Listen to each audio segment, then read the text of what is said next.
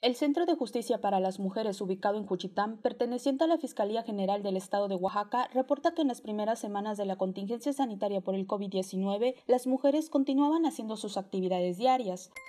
No hemos visto un incremento, eh, el incremento normal.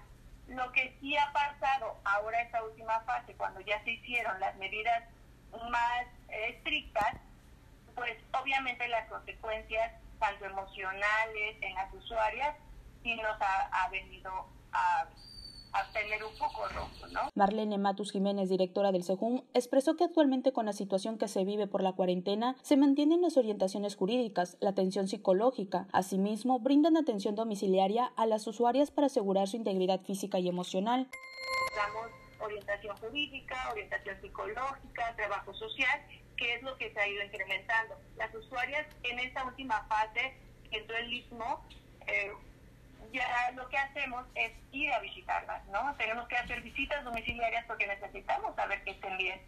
Eh, ha aumentado obviamente la ansiedad, el hecho de estar conviviendo con el agresor ya dentro de casa, Explicó que en el mes de abril del presente año 50 expedientes nuevos fueron abiertos. Asimismo, Matus Jiménez señala que se han registrado aproximadamente a 20 usuarias de vez primera, mientras que son mil usuarias las que se tienen contabilizadas en todo el 2020. Algunas de las víctimas se presentan con denuncias ya realizadas y otras no. Las víctimas colaterales de la violencia familiar son los niños que resultan severamente afectados por la violencia que ven en sus casas. En cuanto a esto, son de 6 a 7 casos los que se atienden.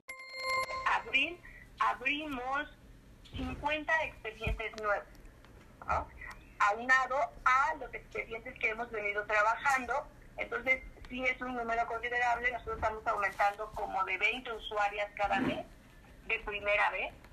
Ya llevamos, eh, en todo el año, tenemos mil usuarias ya trabajando, que han llegado con nosotros algunas vienen con denuncias ya familiares y otras no tienen denuncias. En cuanto a expedientes, en el mes de abril del 2020 se tienen abiertos 200 expedientes, en los cuales el 80% de los casos es por violencia familiar. Matus Jiménez destacó que una de las prioridades es apoyar tanto a las mujeres víctimas por razón de género como a mujeres que requieren a los servicios que brinda el SEJUN. Con actual contingencia sanitaria, el horario del Centro de Justicia para las Mujeres es el siguiente, de lunes a sábado de 10 de la mañana a 6 de la tarde, o al número 971 133 2944, informó para Noticias Perlo Ochoa.